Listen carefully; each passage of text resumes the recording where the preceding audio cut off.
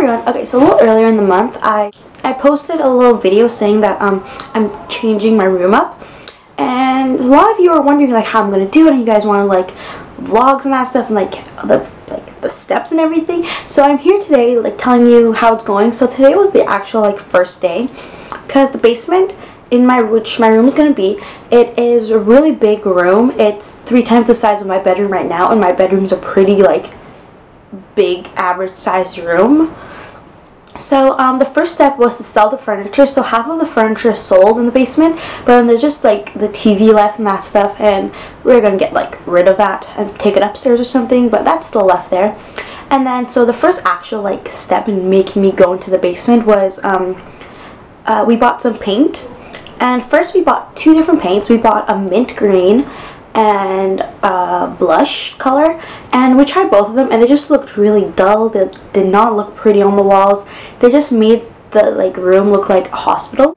So then today we went out again after kickboxing and then we um, bought another paint and this is once again mint green but it's a lot darker mint green. So like when it goes on the walls it'll be like a perfect mint and yeah, so I'm really excited to paint it. Oh, so the color schemes is going to be the walls since they're going to be mint green and all my furniture is white. It's going to be white with green and pink accents. Doesn't matter what shade as long as it kind of goes together. And then, and then once it gets painted, um, we have to move the furniture upstairs like I said. And then I get to start decorating. So this, I kind of like drew an overview of what's going to look like. I don't know how well you can see but oh well. So um, you come down the stairs and then I'm going to have like there's like an entrance I'm trying to find a good way there's gonna be like an entrance like there's the stairway and this leads to the garage. And there's gonna be like this little mirror decor here. And then like there's gonna be a rug here. My bed's gonna be here. I'm gonna have a clothing rack. And my TV is gonna be here. And I'm gonna get a little desk to do my homework on and videos.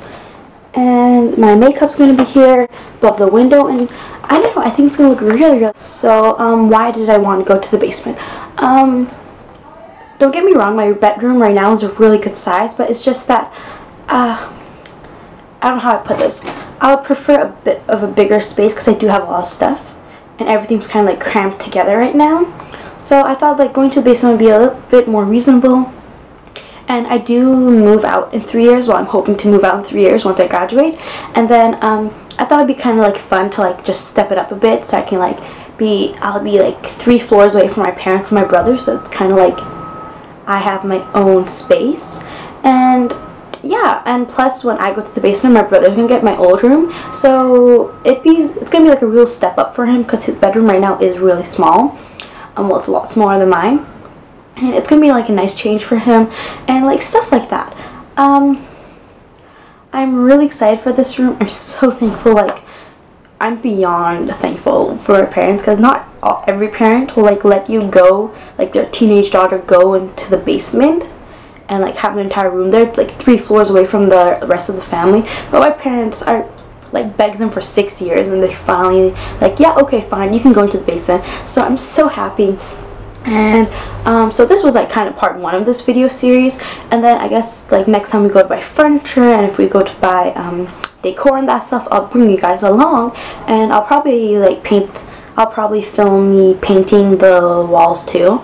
I'm not really allowed to go near the walls. I'm just my mom doesn't let me.